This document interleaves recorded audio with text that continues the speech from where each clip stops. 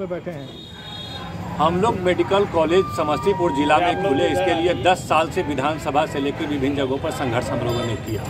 और आज medical college जब खुलने का फैसला हो गया तो जिला मुख्यालय में ज़मीन 15 एकड़ की ज़मीन है जिसमें सारी प्रक्रिया स्वास्थ्य विभाग ने कर ली जिला प्रशासन ने कर लिया। मेडिकल कॉलेज के लिए भी और इंजीनियरिंग कॉलेज के लिए।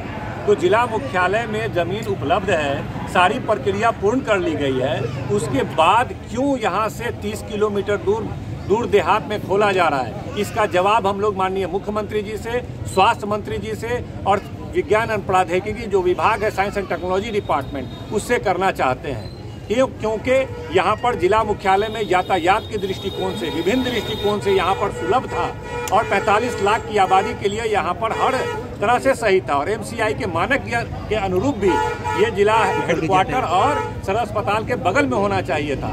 तो आखिर किस नेता के दबाव में आकर के इतने बड़े धनराशि का, जो जनता की धन है उसका दुरुपयोग किया जा रहा है। इस मेडिकल कॉलेज से जिला से आधे से अधिक आबादी लाभान्वित नहीं हो पाएगा। इसीलिए हम लोगों ने पत्र भी लिखा, मुख्यमंत्री जी से कई मुलाकात किया, हम लोगों ने स्वास्थ्य मंत्री से मिलकर मुलाकात किया, सदन में उठाया कि जिला मुख्यालय में ज़मीन उपलब्ध है हाउसिंग बोर्ड ज़मीन देने को तैयार है। जब किसी तरह की कोई बाधा नहीं है तो आखिर किसी एक नेता को खुश करने के लिए, किसी एक नेता के दबाव में 45 लाख जनता के साथ सौतेला व्यवहार नहीं करें माननीय मुख्यमंत्री जी, नहीं करें स्वास्थ्य मंत्री मंगल पांडे जी। और यहाँ के स्थानीय नेताओं से मेरा प्रश्न है, जो राज्यसभा सांसद हैं, चाहे लोकसभा के सांसद हैं, आसपास के विभिन्न विधायक हैं, तमाम या भाजपा के कई नेता हैं, इन लोगों ने कैसे सहमति दे दिया कि जब जिला में ज़मीन है, जिला में सहमति हो चुकी है, सारी प्रक्रिया हो चुकी है। आखिर इन नेताओं को सिर्फ़ समस्तीपुर की जनता से वोट चाहिए। एक नेता भारी पड़ गया अब इतने इतने नेताओं पर।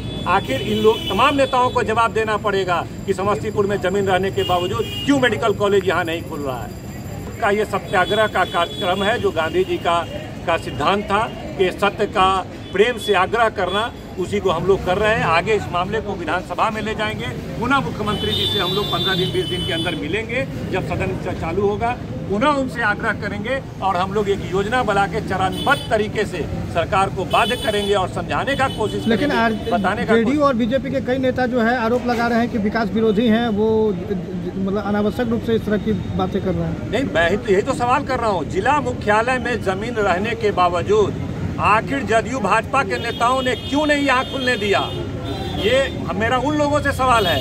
हम लोग तो इस बात के समर्थक हैं कि जिला में मेडिकल कॉलेज खुले इंजीनियरिंग कॉलेज खुले लेकिन जिला मुख्यालय में ज़मीन उपलब्ध है और ज़मीन देने वाला तैयार है जिसका सारा कागजात हम लोगों के पास है सहमति दे चुका है देने के लिए। आप हज़ार पंद्रह सौ करोड़ रुपया आप इंजीनियरिंग कॉलेज और मेडिकल कॉलेज पे खर्च कर रहे हैं। लेकिन दो पैसा ज़मीन की राशि अगर मांग दिया तो आप उस पर खर्च नहीं कर रहे हैं। हम्म। यह पैसा मुख्यमंत्री जी का प्रधानमंत्री जी का स्वास्थ्य मंत्री जी का नहीं है। यह पैसा जनता का पैसा है। और जनता के हित में आप पंद्रह करोड़ रुपया को आप डेढ़ करोड़ रुपया को आप बर्बाद कर रहे हैं किसी सुदूर देहात में ले जा करके जबकि जिला मुख्यालय में ज़मीन उपलब्ध है। हमारी लड़ाई मेडिकल कॉलेज के विरोध में नहीं है। जगह आपने जनता के सुविधाजनक जगह का आप नहीं चयन किया। आप किसी एक नेता के प्रभाव में आकर के आप देहात में ले जा रहे हैं। हम लोग उसका विरोध कर रहे हैं, उसका सत्याग्रह के माध्यम से मांग कर रहे हैं।